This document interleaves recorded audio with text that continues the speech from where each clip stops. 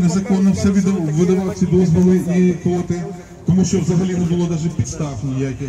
А потім вже в 12-му році, використовуючи політичну волю е, тоталітарного режиму, було протягнуто два закони профільних, в частності закон про господарства, промислове рибальство і таке інше, де було закріплено не свійські функції для цього органу розпорядження водоймами. Згідно Конституції, згідно водного кодексу, земельного кодексу, тобто базових законів, е, цей орган має право регулювати і контролювати використання водою, але не розпоряджатися. Це є виключно е, власність українського народу. І від його імені розпорядженням займаються місцеві органи влади.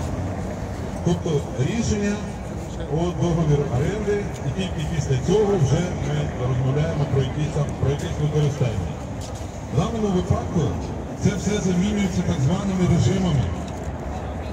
І у відповіді шановному пану Єворівському Держводагентство чітко зазначило, що право використання цих водойм рибогосподарських цілей закріплюється режимом, що є прямим порушенням Конституції, законів України.